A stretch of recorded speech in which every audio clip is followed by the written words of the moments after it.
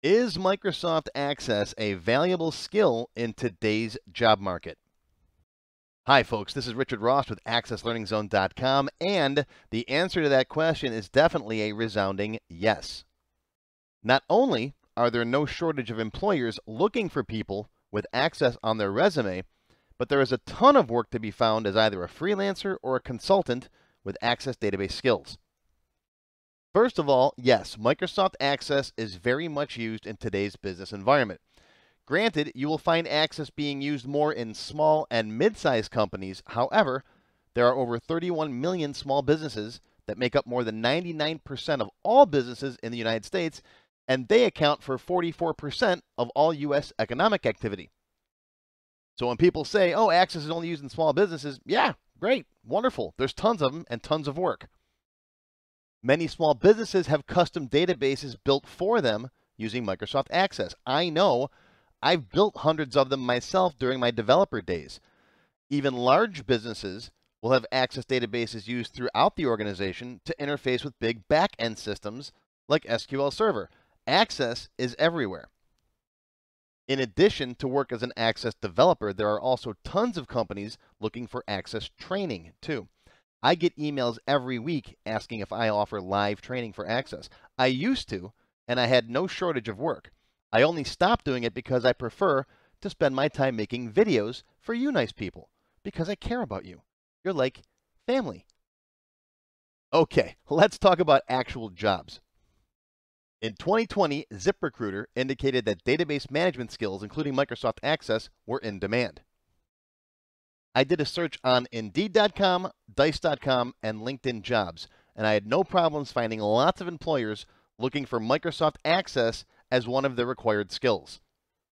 The LinkedIn results had over 31,000 Access jobs listed. Payscale.com lists the average base salary for a Microsoft Access developer as 63000 per year. That's about 30 bucks an hour, which isn't bad.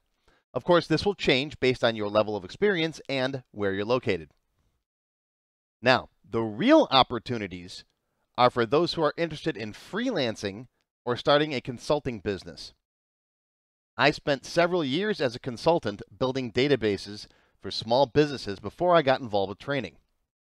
I had no shortage of work. And this was back in the 90s, before the days of social media. Now it's easy to find people looking for help with access.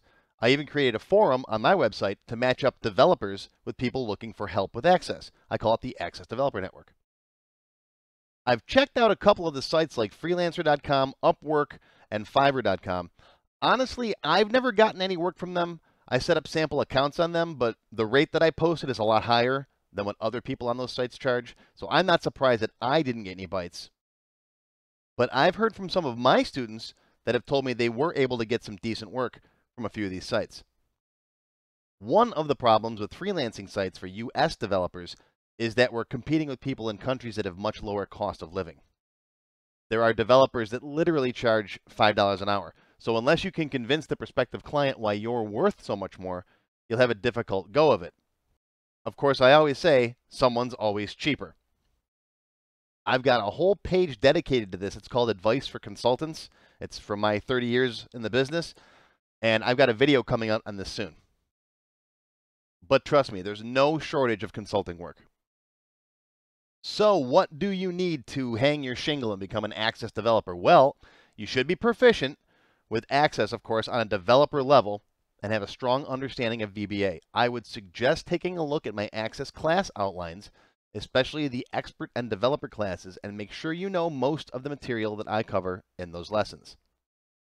You should be well versed in the SQL language as it pertains to Access. Again, take a look at the outlines for my SQL seminars and make sure you know most of that as well.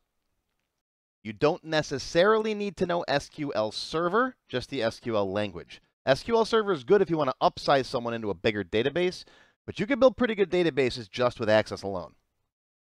You'll need to know how to build databases with proper relational structure and be able to deploy them securely in multi-user environments. See my security seminar for details on this. Very important is you must be able to teach people how to use the database you build. So communication skills and a mastery of the English language are important or of course, whatever language is prevalent in your country. This is something, unfortunately, that comes with experience. The more you interact with customers, the better you'll get. I'd say being a consultant is about 60% technical skills and 40% personal skills. Now, after you master Microsoft Access alone, there are a dozen ways you can expand your skills. You can learn SQL Server to be able to deploy your Access database to larger organizations or even on the internet. You can learn ASP, Active Server Pages, or ASP.NET, to develop web-based applications around your database. At least once a week, I get asked a question like, is Microsoft Access going away? I hear it's being phased out, or is it being discontinued? Of course not. The answer to all these questions is a resounding no. I got a whole video explaining that, so go watch that video. I'll put a link down below you can click on. Ignore the naysayers. When I was doing research for this video, I came across another YouTuber who called Access Microsoft's, quote, weird little cheesy database for dummies app. Now, I've been using and teaching Access for almost 30 years. I've built Access solutions with and without SQL Server for hundreds of clients in my developer days, and I've literally taught hundreds of thousands of people how to build with Access since starting my YouTube channel in 2006, and I started my business in 2002. The people who put Microsoft Access down are usually the ones who don't truly understand and appreciate the power and flexibility of this cheesy little app. Customer acquisition firm Enlyft lists over 98,000 companies that use Microsoft Access. It has over 10% of the overall database management market share. Quite simply, Access is the best database platform available for rapid development, especially for small and mid-sized companies, but when you outgrow that, Access is still a fantastic front end for more powerful back end databases like SQL Server. And of course, from there, you'll have no problems getting your data on the web. I've had hundreds of my students thank me for teaching them the skills they need to either start their own businesses providing Access consulting or getting a well paying job in a company using Access. So, yes, my friends, learn Access, especially if it's your first experience with building databases. So I hope this video helped to show you that Microsoft Access is definitely a skill that will help you either find a job, start a new career as a freelance developer, or even start your own business as an Access consultant or trainer. The possibilities are endless. Microsoft Access is definitely in demand. Thanks for watching. Again, I'm Richard Rost with Access Learning Zone. Keep learning.